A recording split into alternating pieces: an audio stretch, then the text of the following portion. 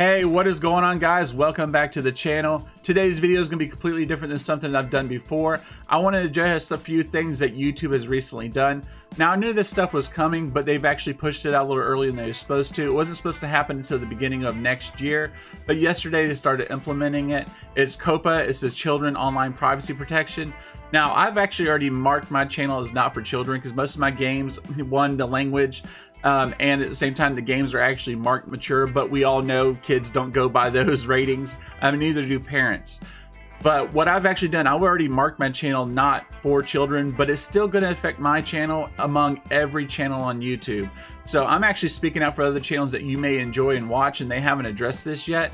Uh, make sure you go and support their channel. Make sure you subscribe and click the notification bell.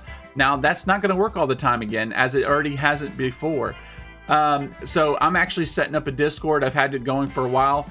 Your other content creators that you enjoy, if they don't have one, tell them they need to set one up because what's good about Discord is it's going to actually notify you every single time videos go up because it sends actual alerts into Discord. And this is the Discord I have here. Now the link in the description where you can go and join that now and you can actually get it to where you get notified for all videos. We have general chat where people hang out um, to where you can actually um, add friends for PSN and Xbox and PC too if you want to as well. Um, and then if you like Red Dead and stuff, you like sharing pictures of stuff, we have groups for that, different videos of stuff. It's really cool way to keep people connected, but it also helps me stay connected with you guys. That's one of the best things I've liked about doing a channel, especially the live streams, is, is actually just hanging out with everybody. But just to show you guys, I'm not worried that it's the fact of, you know, kids watching it all the time. It's actually how it actually affects the recommendations and stuff. And as you can see here on my actual channel, uh, 13 to 17 year olds, it's only 1.9%. So it's still going to affect though because it's going to actually hit recommendations and stuff for everyone. So anyway, I wanted to just share this with you guys. Make sure you click the bell. Make sure you subscribe. Do this for the other channels that you enjoy as well. And if they haven't set up a type of a thing of a Discord, make sure they do that as well so you can stay up to date with their channels because some people just don't know what Discord is.